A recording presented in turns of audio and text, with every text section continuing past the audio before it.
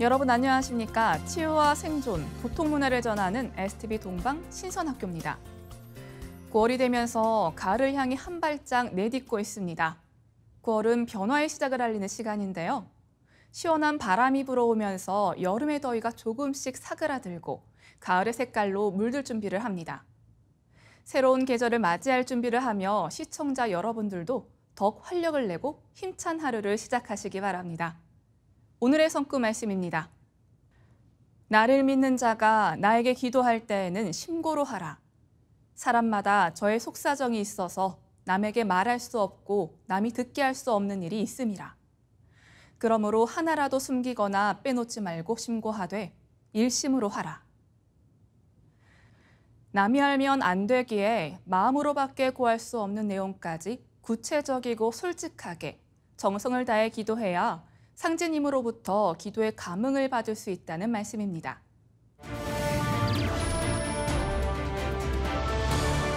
이어서 지구촌 개벽 소식입니다. 지난 8월 10일 53년 만에 대홍수를 겪은 이탈리아의 수상도시 베니스가 물난리 위기를 맞이한 모습이 화제가 되었는데요. 외신의 보도에 따르면 당일 저녁 베니스 주변 수위가 160cm에 달했다고 합니다. 수위가 160cm를 넘으면 베니스의 70% 안팎이 침수될 수 있기 때문인데요.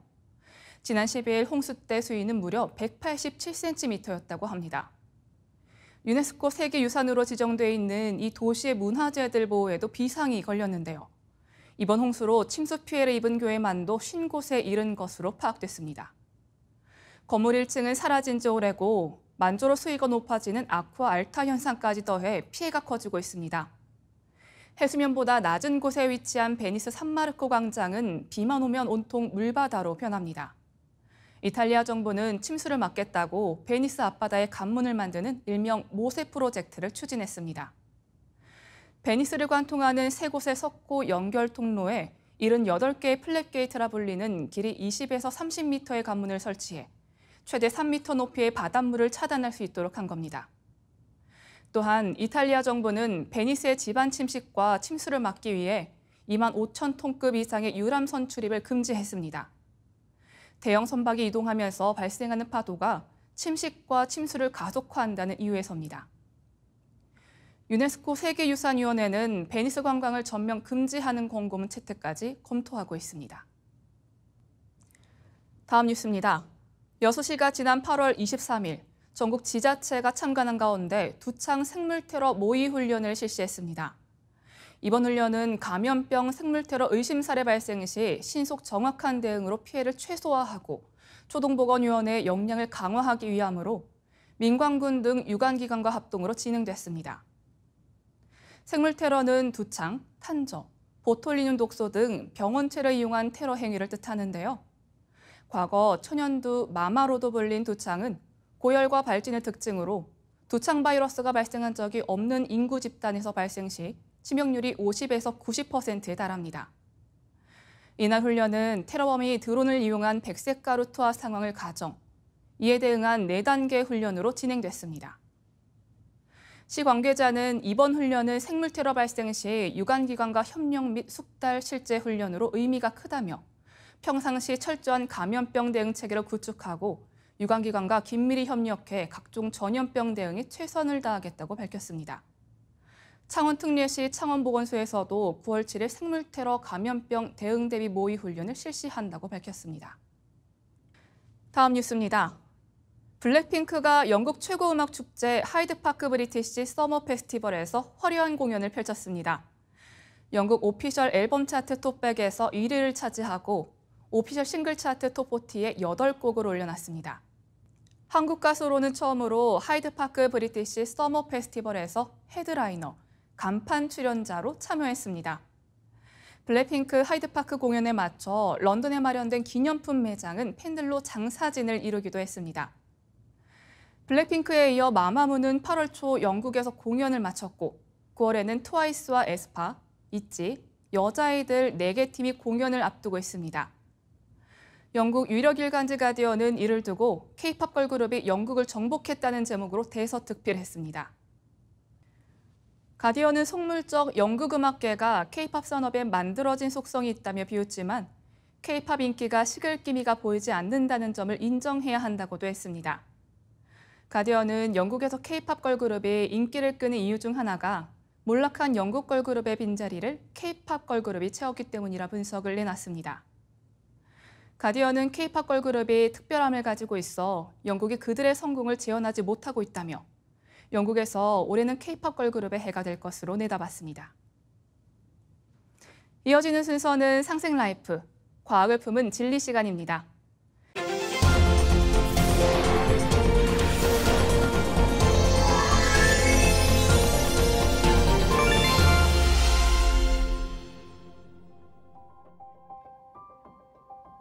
안녕하세요. 아나운서 김병훈입니다. 여러분, 우리가 먹는 음식이 곧 우리 몸이 된다는 말 들어보셨죠? 지난 시간 김태현 연구원님과 함께 항노화 관련 최신 연구 동향들을 살펴보았는데요. 이번 시간에는 건강식품과 유해식품에 대해 알려주신다고 합니다. 우리 연구원님 모시고 이야기 나눠보도록 하겠습니다. 안녕하세요. 네, 안녕하세요. UAB에서 근무하고 있는 김태현 연구원입니다. 오늘은 먹는 것이 우리 몸이 된다는 것을 생각하며 어떤 음식을 먹고 또 어떤 음식을 피해야 할지 그리고 우리 몸의 생리 현상을 유지하기 위해 어떤 생리 활성 물질을 섭취하면 좋을지에 대해서 말씀드리려고 합니다. 그 전에 말씀드릴 것이 현대의학에서는 인체의 모든 세포와 장기가 일정한 주기로 재생된다는 것을 이미 밝혀놨습니다. 예를 들면 장내 상피세포 3일, 눈 망막세포 10일, 피부 28일, 허파과리세포 3주, 백혈구 20일, 적혈구 4개월, 간세포 5개월, 미각세포 10일, 뼈 10년, 심장세포 20년, 그리고 신경세포는 60년의 수명이 있고 수명이 지나면 새로운 세포가 만들어지죠. 새로운 세포를 만들려면 재료가 있어야 하겠죠. 우리가 먹는 음식이 우리 몸을 구성하는 세포의 재생에 쓰이는 재료로 쓰이기 때문에 건강한 음식을 꾸준히 섭취해야 각 장기들을 구성하는 세포 수명에 따라 건강하게 오래 살 수 있게 되는 것입니다. 네, 동의보감의 의식 동원, 즉 질병 치료와 음식 섭취는 인간의 건강 유지를 위한 것으로 그 근원이 같다. 그래서 약치보다는 식치, 약을 사용해서 치료하는 것보다 음식으로서 병을 치료하는 것이 더 중요하다고 했는데요. 현대의학에서도 동의보감과 같은 얘기를 하고 있네요. 네, 그렇습니다. 개개인의 몸에 맞는 음식을 섭취하면 몸도 건강해질 것이고 반대의 경우 우리가 병을 얻을 수도 있겠죠. 자, 그러면 우리 몸에 좋은 건강한 음식들은 어떤 것이 있는지 먼저 알아보도록 하겠습니다. 여기 간단하게 어패류, 육류, 색깔 야채, 콩류, 발효식품들을 꼽을 수 있는데 이렇게 좋은 음식들을 모두 매일 챙겨 먹기는 참 쉽지 않습니다. 생활 습관과 문화적인 차이, 주위에서 구할 수 있는 식재료의 종류에 따라 우리의 식단은 차이 나기 마련입니다. 더구나 조금만 관심을 가지고 보면 건강 정보들은 주위에 넘쳐나고 몸에 좋다는 음식들은 왜 그리도 많은지 저걸 다 챙겨 먹어야 하나 하는 생각이 들기도 하죠. 네. 그 말씀 중에 어패류와 육류도 건강에 좋은 음식으로 소개를 해주셨는데 제 생각에는 이게 요리법에 따라서 좀 다를 수 있다는 생각이 들어요. 특히 뭐 생선을 기름에 튀겨서 먹거나 혹은 소고기를 버터에 구워 먹는 것은 별로 안 좋을 것 같은데요. 네, 생선이나 육류를 기름에 튀기거나 과도하게 구우면 육류의 단백질과 DNA의 변성이 일어나면서 발암 물질이 생성되기 때문입니다. 또한 알루미늄 호일을 깔고 고기를 굽는 경우가 종종 있는데요. 알루미늄은 알츠하이머 같은 뇌 질환을 일으키기 때문에 결코 좋은 요리법은 아니죠. 그래서 약한 불에 태우지 않고 충분히 익혀야 하고 직화 요리보다는 물에 익혀서 섭취하면 채소나 육류의 독소를 상당량 없앨 수 있기 때문에 곡물 요리가 더 안전합니다. 네, 그렇군요. 건강을 위한 재료 선정도 중요하지만 요리법 그리고 어떤 환경에서 자란 재료를 섭취하느냐도 중요하게 생각해야 할 부분이네요. 그럼 연구원님, 이 득보다 실이 더 많은 음식은 어떤 게 있을까요? 우리 사회가 서구화됨에 따라 주위에서 빠르고 쉽게 먹을 수 있는 정제 탄수화물과 단순당으로 만들어진 음식, 고칼로리, 고지방 음 식재료들, 보존제와 발색 첨가물이 들어간 가공육들은 심혈관계 질병, 비만, 당뇨, 각종 암을 일으킬 수 있기 때문에 가급적이면 과다 섭취를 피해야 하겠습니다. 요즘 전 세계적으로 한국의 먹방을 보는 시청자들이 많아졌고 먹방을 보면 라면, 떡볶이, 햄버거, 피자, 치킨, 곱창 같은 메뉴가 자주 보입니다. 정제 탄수화물인 밀가루가 주 원료이거나 기름에 튀긴 음식들이기 때문에 고칼로리 고지방 음식입니다. 자주 먹으면 건강에 좋지 않겠죠? 네, 사실 우리 모두가 많이 듣고 잘 알고 있는 내용인데 이 바쁜 현대 사회에서 건강식으로 잘 챙겨 먹기가 여간 어려운 일이 아니죠. 저도 스트레스를 받으면 왠지 모르게 고칼로리, 고지방 음식들이 생각나더라고요. 이게 왜 그런 걸까요? 이 과학적인 이유가 있나요? 그것은 단순만과 지방이 미각신경을 자극해서 뇌에서 보상 효과를 빠르게 올리기 때문에 폭식하고 나면 기분이 좋아지고 도파민이 분비되는 반응이 반복되면 일종의 중독과 같은 증상에 빠지게 되고 그 습관에서 벗어나기 힘들어지는 것입니다. 네, 앞으로는 스트레스로 고칼로리 고지방 음식들이 생각나면 물 한 잔 마시고 마음을 가라앉힌 후에 명상과 수행 먼저 해봐야겠습니다. 다음은 꾸준히 섭취하면 건강에 큰 도움을 받을 수 있는 이 식품에서 추출한 생리 활성 물질에 대해 알아볼 시간인데요. 아쉽게도 시간이 다 되어서 오늘은 여기까지 하고 다음 시간에 이어서 이야기 나눠보도록 하겠습니다. 김태현 연구원님 감사합니다. 네, 감사합니다.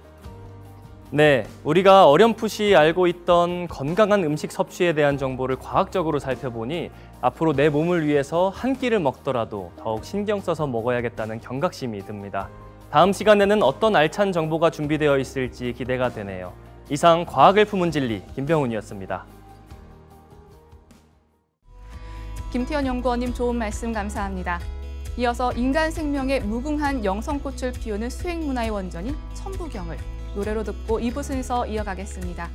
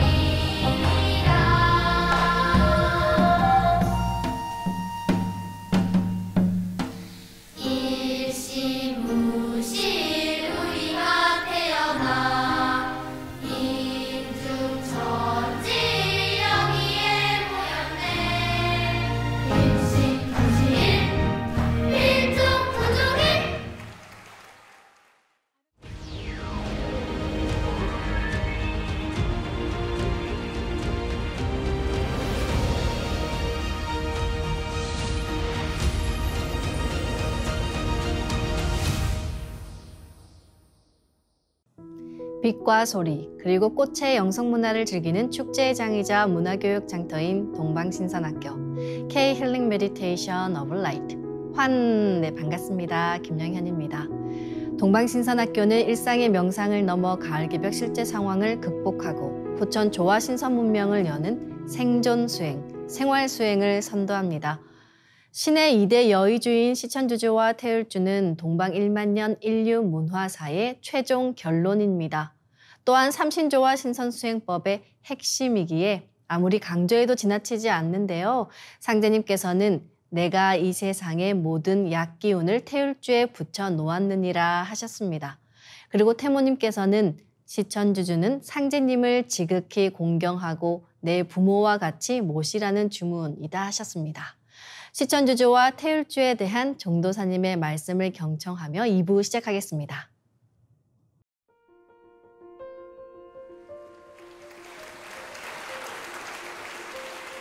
이 선료화를 받으면은 조화 빛꽃 갑을 해야 되는데 그 사실은 뭐 누구와 함께 한번 가보자고 그러니까 와서 아뭐 그럴 듯한데 누구는 놀랍다고 하고 누구는 정말 이 시대에 바로 나와야 될 기다리던 그 한 소식이구나. 이제 이런 분도 있고 또 망설이거나 또 자기 나름 생존 환경 때문에 뭔가 트라우마 아닌 뭐 그런 문제로 어려움을 얘기하는 경우가 있어요. 이게 마음을 비우시고 이것은 본래 우리 문화의 원형이다. 우리가 이제 한류 문화를 얘기하잖아요. 한류는 풍류다. 뭐 이렇게 다른 말로도 얘기하는데 지금 전 지구촌에 한류 팬들이 뭐 10억이다. 아, 그러는데 그러면은 BTS 음악만이 한국 문화 모든 걸 상징하느냐? 전혀 그렇지 않잖아요. 한국의 음식이나 뭐 영화나 뭐 이런 것이 어떤 그 문화 특성은 드러내주고 있는 것이지만은 한국의 진정한 그 문화 원류 정신, 원형 정신이라는 것은 아직 드러나질 않았어요. 지구촌 인류가 모르는 거예요. 특히 이 땅에 한국인지 모르는 거예요. 이게 참 기맥힌 얘기인데 정말 웃기는 얘기 아니에요. 우리 한국인이 한국을 모른다. 왜? 식민 역사학에 찌들어가지고 또 지금 역사학이 잘못해서 구석기, 신석기, 청동기 오스트리아 왕궁박물관 2층 가보면은 오스트리아 사람들 우리 청동기가 5,500년 됐다고 그래요. 가보면 놀랍습니다. 거기 복도에 피리가 있는데 지금 피리하고 같아. 얼마 됐냐? 그건 1만 년 된 피리가 있어요. 우리가 이 지구의 전체 문화 현장에서 볼 때 우리들의 지금 잃어버린 문화 원류, 우리들 조상님들이 지금 만들어서 우리에게 전해주신 문화의 근본은 뭐냐? 그것은 우리나라의 바로 국호, 이걸 국통이라고 할 때 황국 배달 조선, 북부여 사국시대, 백년 삼국시대, 남북국 아래 바다 이름으로 배웠잖아요. 바다가 어떻게 나라 이름이 되나? 중국인들이 부른 별칭인데 대진 본래 진국이잖아. 사서에도 그 대진국. 남쪽은 후신라, 통일신라, 고려조선, 지금 남북 분단 시대 대한민국 다 광명이거든. 그럼 그게 뭐냐? 바로 이 선려화야. 선정화. 이 선정화 문화. 그래서 신라 때 화랑이라고 하는 게 꽃화자인데 왜 나라 전쟁 위기 때 나서 전쟁을 하는데 거기다 꽃화자를 놨냐? 가장 여성적인 언어. 그래서 우리가 이 자연계 만물에서 우리가 진선미를 누구도 공감하는 게 꽃이거든. 꽃은 생명의 정수, 생명의 정화인데 우리가 미학적 측면으로도 꽃을 싫어하는 사람은 없어요. 다 꽃은 아름답거든. 모든 생명의 그 진화의 전 과정에서 가장 아름답게 뭔가 그 생명을 발현한 게 꽃인데 그래서 이 꽃은 우주의 그 빛이 조물주이신 태열형님이 나의 마음을 이렇게 드러내 준 것이다. 내 생명의 조화를 이렇게 드러내 준 거다. 그러니까 우리가 아까 흰 꽃을 받고 붉은 꽃, 파란 꽃을 합체하는 것은 이 대우주 절대 근원인 무국.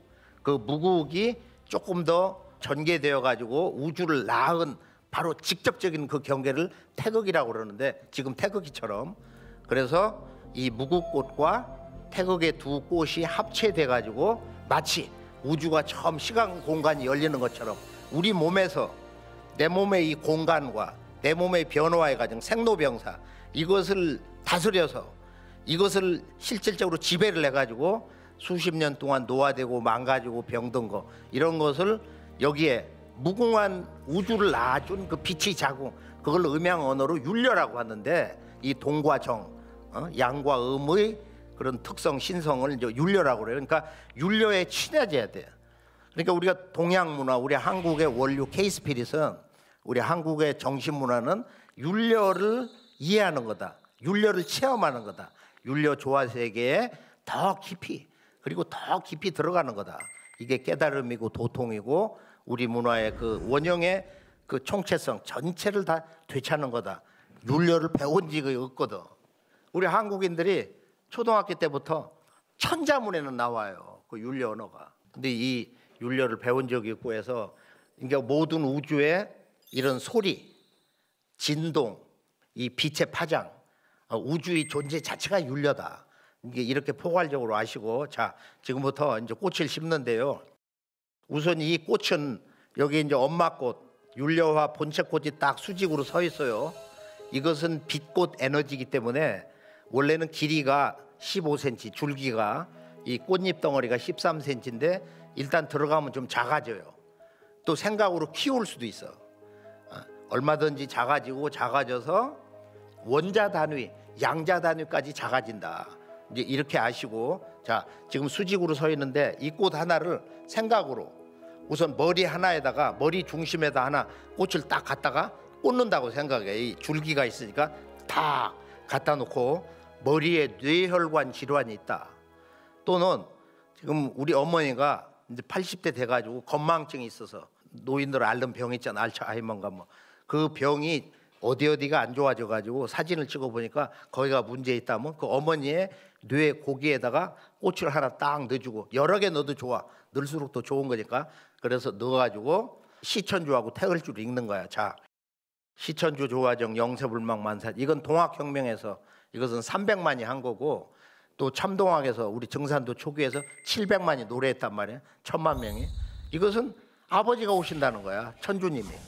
그리고 또 하나는 이제 이 우주에 조물주가 두 분이 있는데 한 분은 이런 우주를 다스리는 아버지 인격신이고 한 분은 형상이 없는 무형의 에, 조물주로서 빛의 근원 자체이신 태열형님이에요.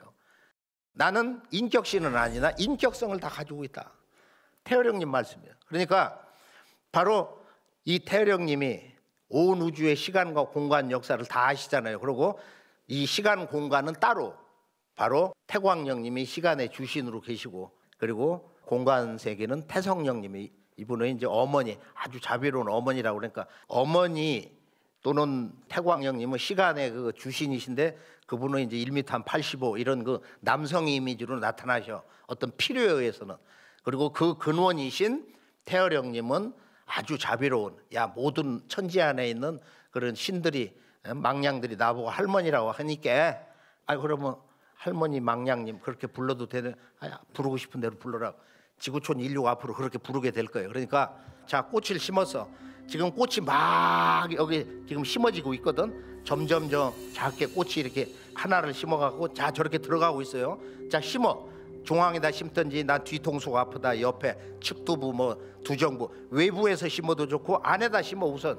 자 지금부터 꽃이 막 하늘에 불꽃놀이처럼 지금 막 전개되고 있는 거야 실제로 맑은 사람 볼 수 있어. 그러니까 첫째 꽃을 심는다. 두 번째 이 꽃이 하늘에 있는 은하계 별처럼 반짝반짝한다. 자, 네 글자 반짝반짝. 그렇게 생각을 하면서 반짝반짝하면서 이걸 꽃을 자 세포 단위 양자 단위까지 심는 거야. 머리 목을 기준으로. 어디가 더 아프면 거기 먼저 해도 좋아요. 자 주문 오케이. 영세불망만 반짝반짝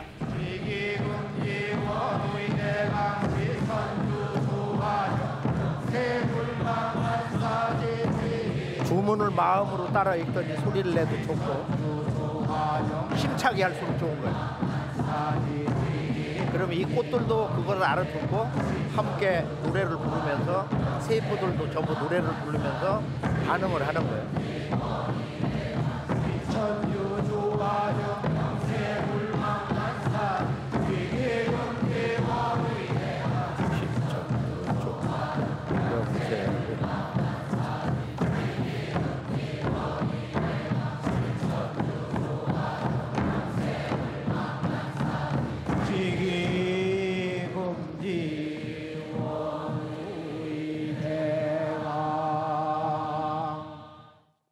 반짝반짝해서 꽃이 쫙 퍼집니다. 이것을 사실은 우리가 처음 꽃을 받아가지고 싹 넣었더니 흰 꽃, 빨간 꽃 쫙 그냥 수평이 열리면서 지평이 그냥 수천 송이 만 송이 갑자기 꽃이 심어져 갖고 꽃밭이 된 거야. 그걸 한번 봐야 돼. 난 그걸 직접 봤거든. 야 이거 장관이다. 저녁 12시 전후에 내가 그걸 처음 봤는데 그래서 처음에 이렇게 집중하는 거. 인간이 이 의식이 분열돼서 죽는 거야. 모든 병도 이 정신 분열 때문에 죽는 거예요. 정신을 이렇게 집중해야 되거든. 의사에 유명한 말이 있어. 심동증 만병이 생하고 마음이 동하니까 만병이 생하는 거야. 심정증 마음이 고요히 쉬니까 만병이 어, 사라진다 이거야. 그렇게 해서 우리가 대자연과 하나 되는 이렇게 멍 때린다고 하는 요새 그런 문화가 있잖아요. 그러니까 딱 이렇게 어, 마음을 비우고서 온 자연계 생명계고 나 하나다. 온 하늘과 하나다 이런 큰 마음을 갖고 살면은 어, 인간관계도 좋아지고 건강이 너무 좋아지는 거야. 일단 마음을 확 비워버리면 건강이 갑자기 좋아져 버려. 죽을 병 걸렸어도. 자, 지금 꽃을 심었다. 반짝반짝한다. 수 천만 송이 지금 수 억 송이로 지금 심어졌는데 그 다음은 어떻게 돼? 여기서 이제 병이 낫는 거야. 지금 이 꽃들이 꽃들이 이렇게 그 빛이 이렇게 뭉쳐지면서 합해지면서 융합이 되면서 뭐가 일어나냐? 빵! 빛 폭발이 일어나요. 여기는 부분 폭발이 있고 전체에서 이제 대폭발이 있어 큰 폭발이 있어 이게 가장 중요한 거야. 여기서 결정되는 거니까 자 실제로 이 머리 안에서 몸에서 일어나는 현상이야. 그러니까 이건 가상 현실이 아니고 실상 현실이라 그렇게 일어나고 있는 것을 보는 것처럼 실제 일어나고 있으니까 하늘에 뭐 올림픽 전야제나 할 때 막 바바바바바방 하잖아 이렇게 어? 축복 터지는 거 그거하고 똑같아. 그거보다 더 재미있어. 그렇게 해서 앞으로 그런 음악을 만들어 가지고 하면 더 멋진데 자 지금부터는 빅폭발이 지금 자 계속 하면서 끊어지지 말고 음, 음악을 계속 넣어요. 자 시작. 자 꽃이 계속 심어지면서 여기저기서 동서남북에서 빛꽃에 빛폭발이 일어나는 마음속으로 뻥뻥뻥뻥 해가지고 동서남북 거의 동시 입체적으로 터지면서 머리 전체에서 머리 전체에서 빛폭발이 일어나는 마음 속에서 생각으로 빵 해도 좋은 거고 힘차게 할수록 에너지가 커지는 거야.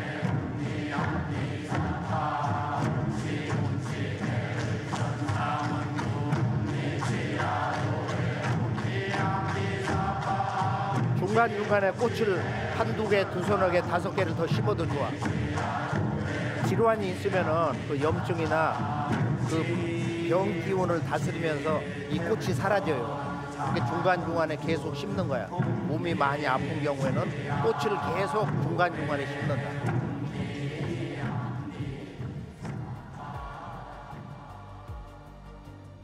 눈이 아플 경우에는 눈 안에다가 눈에 그 스크린 좀 망막에다가 꽃을 딱 하나 꽂아. 시원하게. 오른쪽에다 다 꽂아. 그리고 밖에 있는 흰자 안에 있는 그 홍채 동공이 있죠. 눈동자 핵.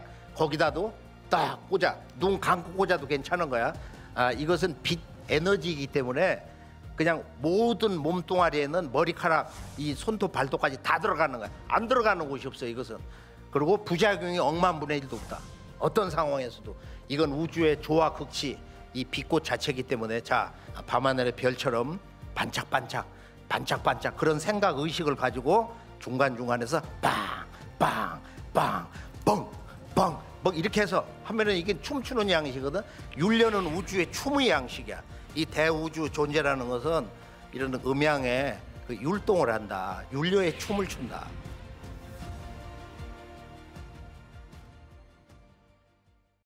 네, 우주 정신과 우주 혼백의 무궁한 빛을 마시는 이대 신의 여의주. 시천주주와 태일주에 대한 소중한 말씀 내려주신 정도사님께 감사드립니다.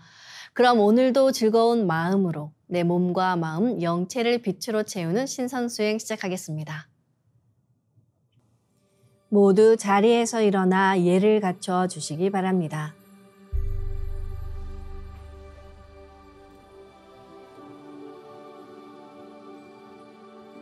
신단 앞으로 나와 청수를 열고 자리로 돌아와 주시기 바랍니다.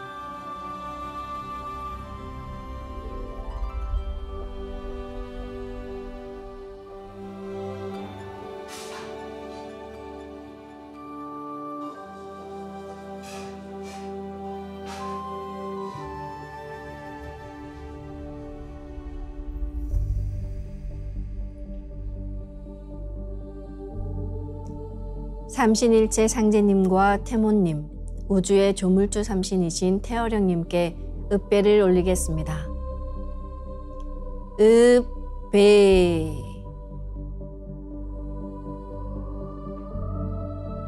바로 자리에 단정히 앉아 주시기 바랍니다.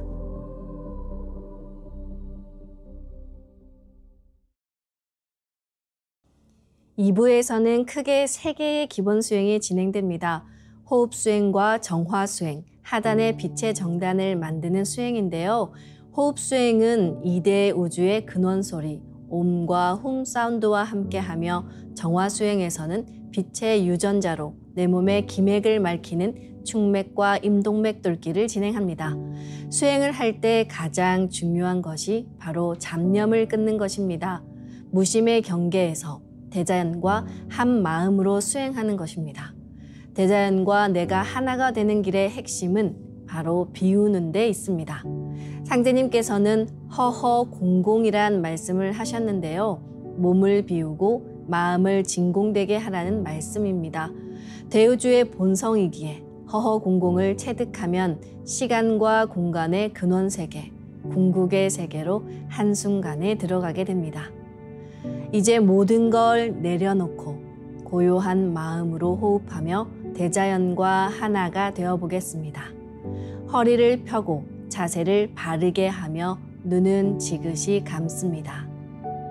마음으로 내가 앉은 방석 중앙에 우주 원십자를 긋고 원십자를 빙 둘러 정원을 그립니다. 원십자 정중앙 영영좌표에 나의 회음을 맞춥니다. 이제 모든 것을 비우고 고요하게 그저 숨을 내쉬고 들이마십니다. 각자의 호흡대로 편하게 세 번 반복합니다. 숨결을 느끼며 정말로 고요하게 내쉬고 들이마십니다.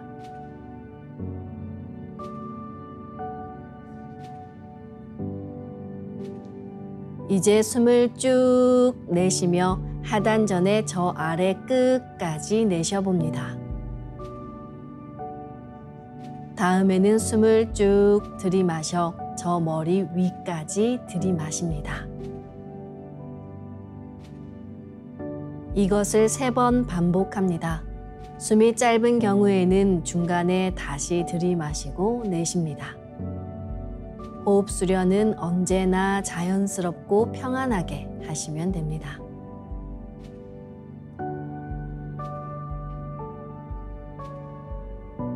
이제 나의 하단전을 통해 온 우주에 충만한 30망량님의 빛과 생명의 기운을 흠뻑 들이마시고 이 기운을 충맥을 따라 머리 위 백회까지 끌어올립니다.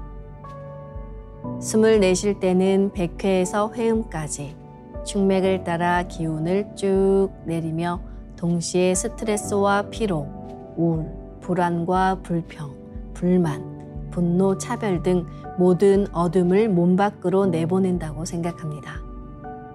삼신 조화의 빛을 힘껏 끌어당겨 온몸에 가득 채운다는 생각을 하며 5분간 호흡해 보겠습니다.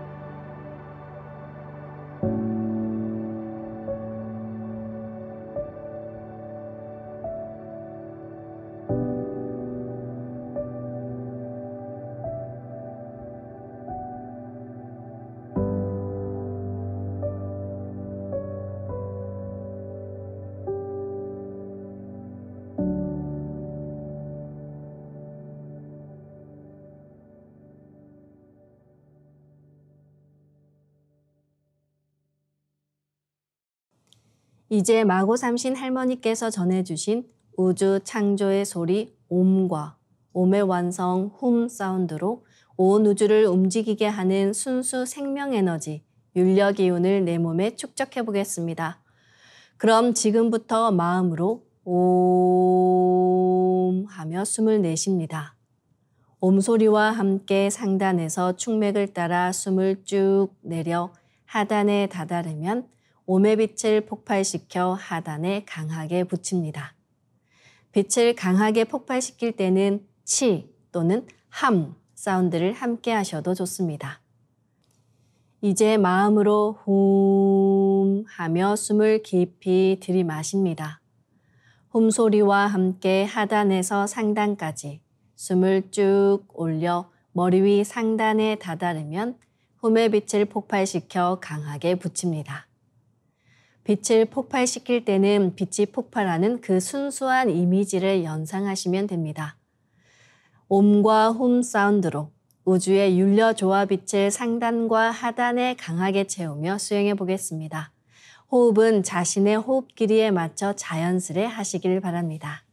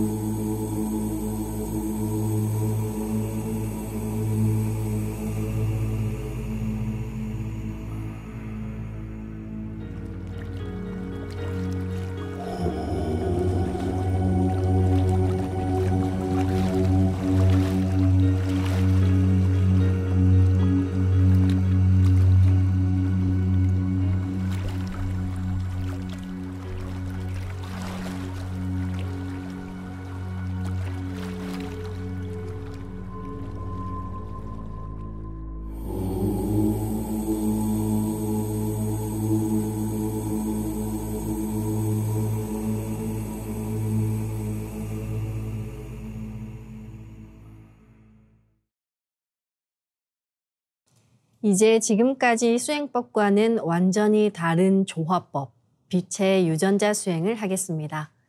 나의 손목에는 백광의 빛 팔찌처럼 상제님 빛의 유전자와 태어령님 빛의 유전자가 있습니다. 상제님과 태어령님의 조화 광채, 빛의 유전자를 생각으로 DNA 형태처럼 꼬아 하나로 만듭니다. 우주 조물주의 빛의 유전자를 받아 만들어진 백광의 조화 광채, 빛의 유전자를 내 온몸에 가득 채웁니다. 이제 온몸에 가득 찬 빛의 유전자가 나의 손상된 유전자를 고치고 젊어지는 유전자, 건강한 유전자가 활성화된다는 자신감을 가지고 수행합니다.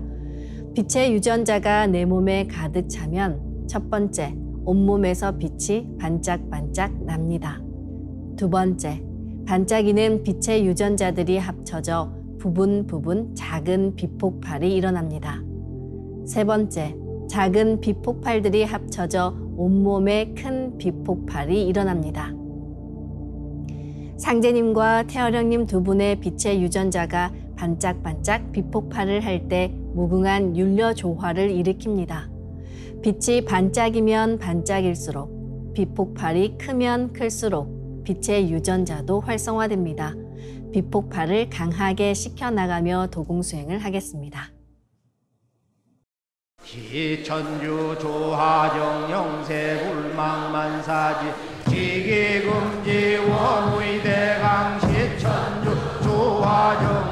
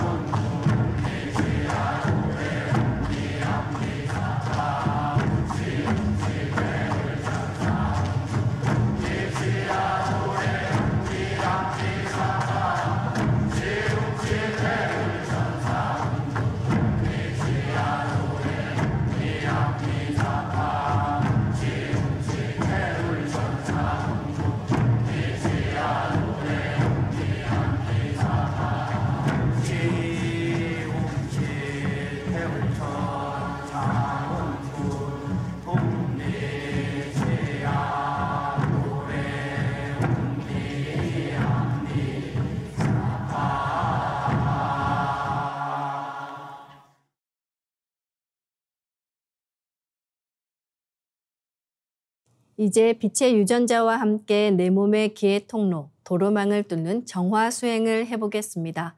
단순한 호흡만으로 기의 통로를 뚫는 것은 시간이 오래 걸려 어렵습니다. 그래서 빛의 유전자로 광선 여의봉을 만들어 뚫습니다. 나의 손목에 백광의 빛 팔찌처럼 있는 상제님과 태어령님의 조화광채, 빛의 유전자를 생각으로 DNA 형태처럼 꼬아 하나로 만듭니다.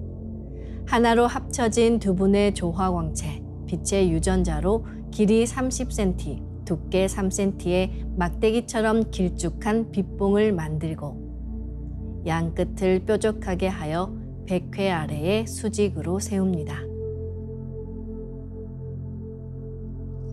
지금부터 축맥을 따라 생각으로 광선 여의봉을 백회에서 회음까지 이동시키면서 뚫습니다. 막혀 있다고 느껴지는 부분은 반복해서 광선 여의봉을 밀어 올리거나 내리며 또는 광선 여의봉을 좀 더 크게 만들어서 뚫어주시면 좋습니다. 기천주 조하정 영세 불망만사지 지기금지 원의대강 시천주 조하정 영세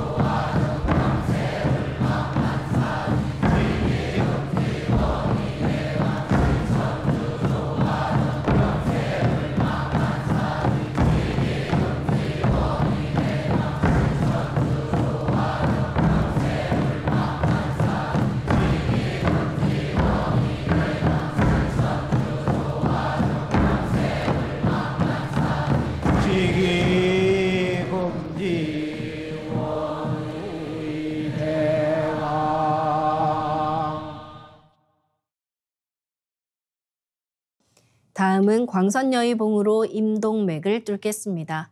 이제 광선여의봉을 회음 쪽으로 옮깁니다. 지금부터 회음에서 동맥을 따라 들숨으로 광선여의봉을 올리고 임맥을 따라 날숨으로 내리며 임동맥을 정화하겠습니다. 동맥을 따라 올릴 때는 의지를 가지고 쭉 올려주시기 바랍니다. 최음 최태울 천사문구 툼리 최아도래 옴니 암니 사파.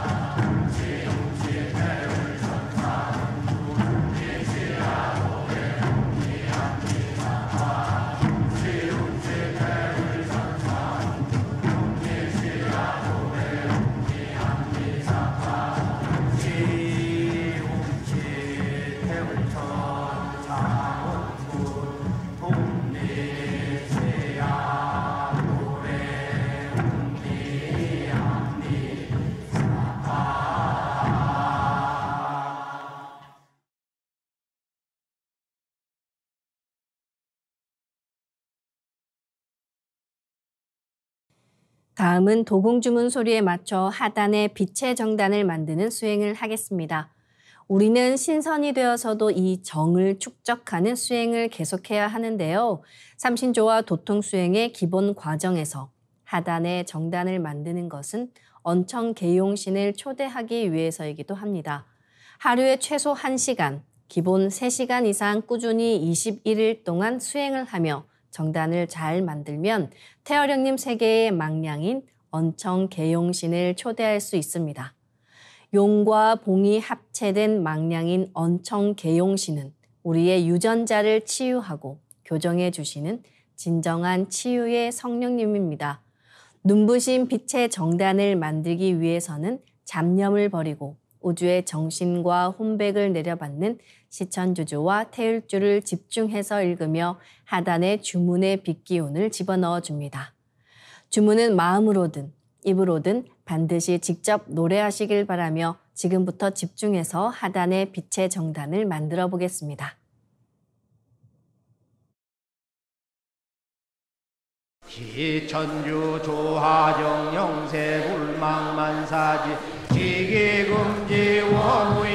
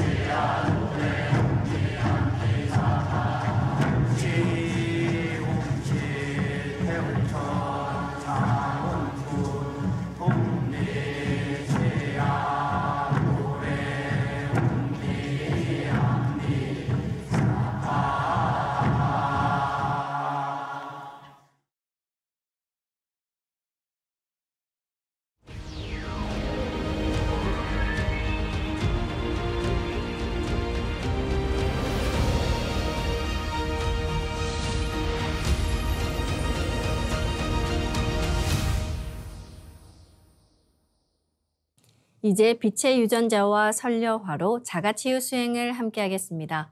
먼저 두 분께 받은 조화 광채, 빛의 유전자로 빛판을 만들겠습니다. 나의 손목에는 백광의 빛 팔찌처럼 상제님 빛의 유전자와 태어령님 빛의 유전자가 있습니다. 상제님과 태어령님의 조화 광채, 빛의 유전자를 생각으로 DNA 형태처럼 꼬아 하나가 된다고 생각합니다. 이제 하나로 합쳐진 두 분의 조화 광채, 빛의 유전자로 가로 세로 30cm에 두께 3cm, 정사각형 빛판을 만들어 봅니다. 두께를 1cm 단위로 자르고 가로도 1cm 단위로 잘라 90개의 비침을 만듭니다.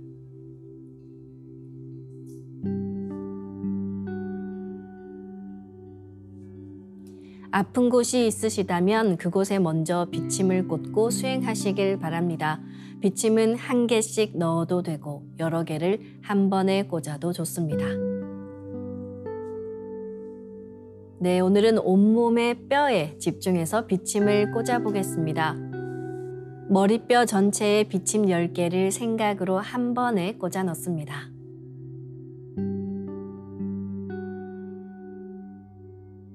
척추에 비침 10개를 생각으로 골고루 꽂아 넣습니다.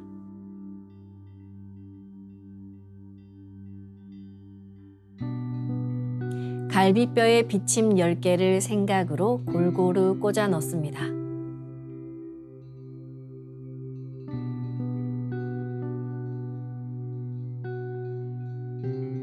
어깨뼈에 비침 10개를 골고루 생각으로 꽂아 넣습니다.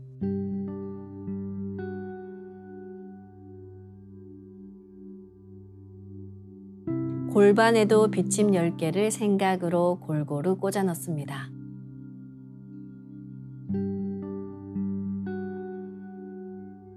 양 팔뼈에도 비침 10개를 생각으로 골고루 꽂아 넣습니다.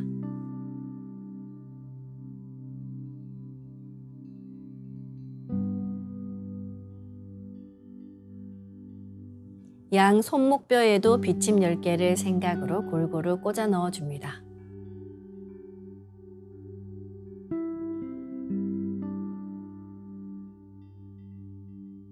양 다리뼈 전체에도 비침 10개를 생각으로 골고루 꽂아 넣어줍니다.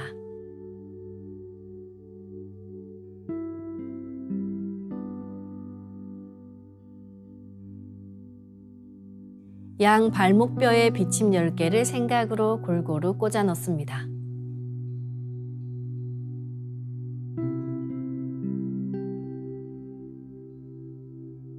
가로 세로 30cm에 두께 3cm 정사각형 비판을 더 만들어 보겠습니다. 아까처럼 상제님과 태어령님의 조화 광채, 빛의 유전자를 생각으로 DNA 형태처럼 꼬아 하나가 된다고 생각하고 비판을 만듭니다. 이 비판으로 양 무릎뼈 전체를 감싸겠습니다.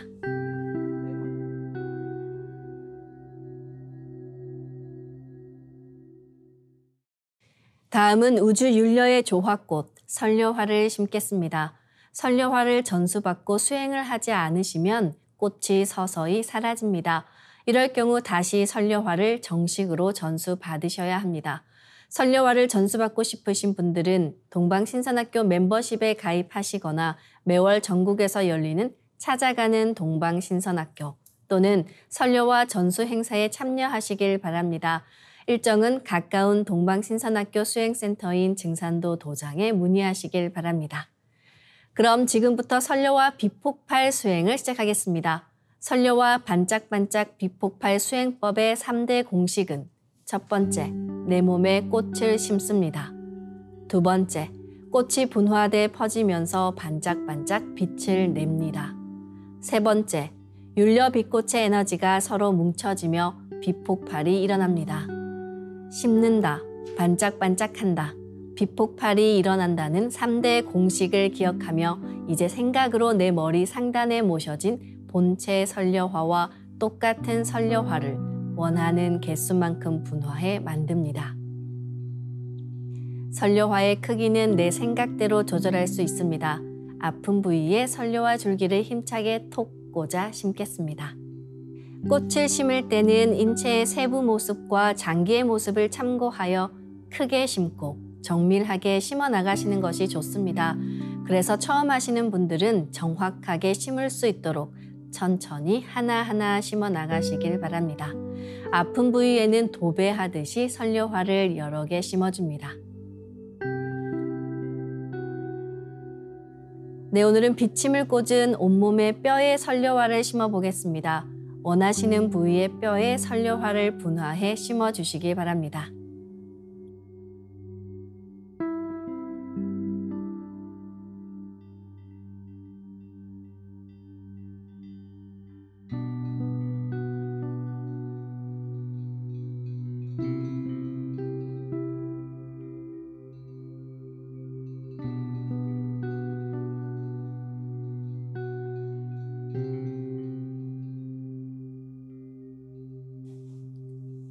선료화를 내 몸 곳곳에 심으면 순식간에 크고 작은 수많은 선료화가 생겨 60조 개의 세포 단위를 넘어 양자 단위까지 수평과 수직으로 수억 수조송이의 꽃이 퍼져나가며 가득 찹니다. 반짝이는 수많은 선료와 빛꽃들의 에너지가 뭉쳐지면 핵융합하듯 불꽃 폭축이 터지듯 비폭발을 합니다. 시천주조와 태울주 도공을 하며 비폭발이 된다는 생각으로 부분 폭발을 강하게 시켜나가시길 바랍니다. 부분 폭발을 계속해 에너지가 뭉쳐지면 전체 폭발이 일어납니다. 아픈 부위는 집중해서 비폭발을 시키면 시원해집니다. 아픈 부위에는 선료화가 치유의 과정에서 변기와 함께 녹아내리기도 하니 수행 중간중간 계속해서 심어주시길 바랍니다. 그럼 선료화를 반짝반짝 가득 채우고 비폭발 수행을 하겠습니다. 비폭발이 일어나면 빛꽃 요정님 나오셔서 저의 뼈를 완전히 새롭게 갱생시켜 주세요. 저의 모든 뼈가 튼튼하게 해주세요. 라고 꽃 요정님들께 기도하며 수행하시면 좋습니다. 반드시 낫는다는 강력한 확신을 갖고 수행하시길 바랍니다. 시천주 조화정 영세 불망만사지 지기금지 원의대강 시천 주 조화정 영세 불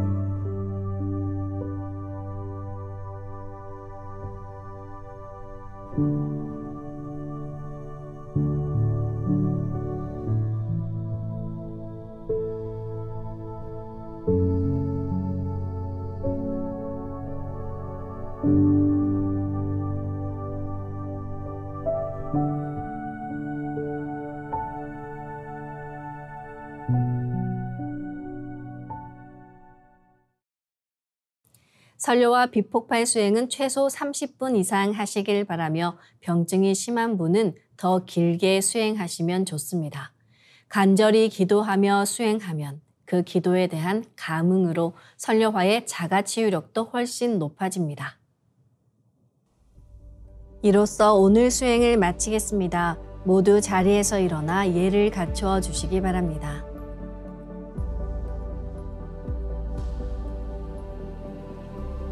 폐장을 하겠습니다. 앞에 모신 청수 뚜껑을 닫겠습니다.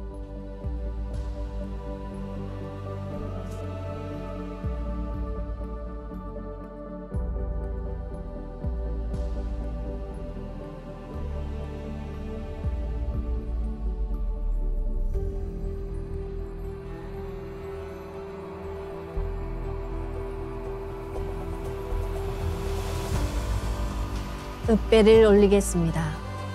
읍배